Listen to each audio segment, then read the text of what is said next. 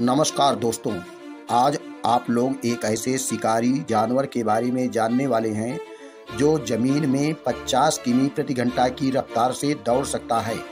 वह अपने वज़न से भी अधिक भारी शिकार को मारकर उसे लेकर पेड़ पर चढ़ सकता है।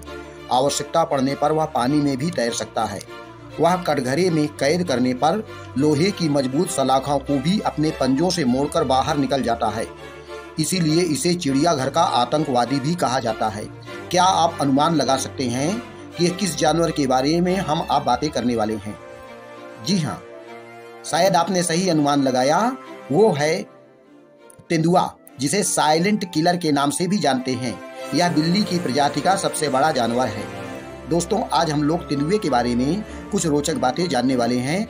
आप लोगों से यही अनुरोध है, कृपया हमारे चैनल को सब्सक्राइब कर लें और घंटी वाला बटन बटन दबा दें। पहला तथ्य, तेंदुआ, अफ्रीका, मध्य एशिया, कोरिया, मलेशिया, भारत, चीन आदि संसार के अनेक भागों में पाया जाता है। यह वातावरण के अनुसार अपने शरीर को अनुकूलित कर लेता है। इसलिए यह ग्रीष्म स्थानों से लेकर के बर्फीले क्षेत्रों तक में भी पाया जाता है। बर्फीले क्षेत्र में पाए जाने वाले तेंदुए की जाति को हिम तेंदुआ कहते हैं। इसका वैज्ञानिक नाम पेथेरा पारडस है। तथ्य नंबर दो, तेंदुआ बिल्ली की प्रजाति का सबसे बड़ा शरीर वाला शिकारी जानवर है। इसकी आँखें रात में बिल्ली की तरह चमकती हैं। इसके आँखों के रेटिना की बनावट कुछ इस प्रकार होती है कि यह इंसानों से सात गुना बेहतर ढंग से देख सकता है। तथ्य नंबर तीन, इसके कान बहुत तेज होते हैं। ये इंसानों से पाँच गुना बेहतर ढंग से सुन सकते हैं। रात में ये अपने शिकार के लिए बाहर निकलते हैं तथा दिन में ये पेड़ की डालों पर चिपक कर आराम करना पसंद करते हैं। दोस्तों, ये बहुत ही चालाक प्राणी होते हैं।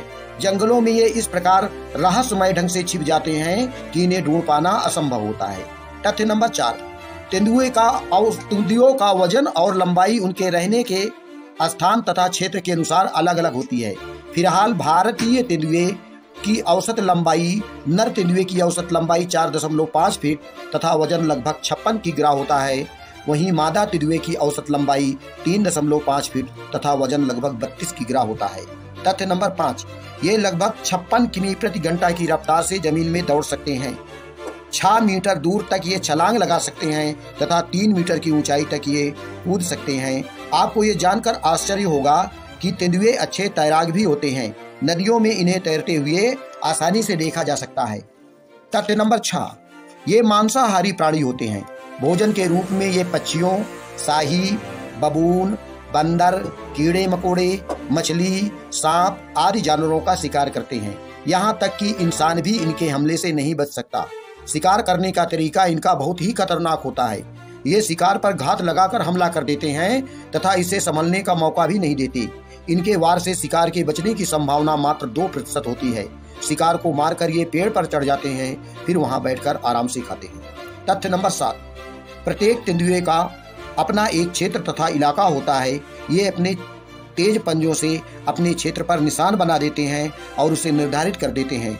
फिर उसमें दूसरे तेंदुए को नहीं घुसने देते, अथवा ये अपने क्षेत्र में किसी दूसरे जीव की दादागिरी को बर्दाश्त नहीं करते। ये गुस्से में भरकर दुश्मन पर गरजते हैं, कभी तेज तेज गुर्राते हैं, दुश्मनों को डराते हैं, कभी ज़ोर ज़ोर से खास कर अपने होने का एहसास कराते हैं। तथ्य नंबर आठ। मादा तेंदुआ एक बार में दो से छह बच्चे पैदा कर सकती है।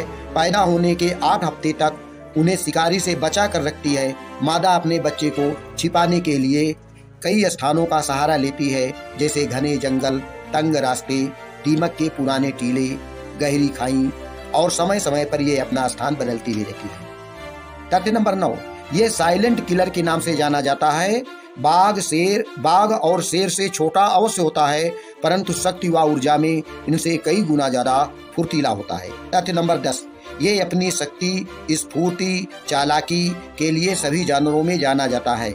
इसका शिकार करना भारत सरकार ने पूरी तरह से प्रतिबंधित कर रखा है। दोस्तों, इसी प्रकार की जानकारी के लिए हमारे चैनल को देखते रहिए। धन्यवाद।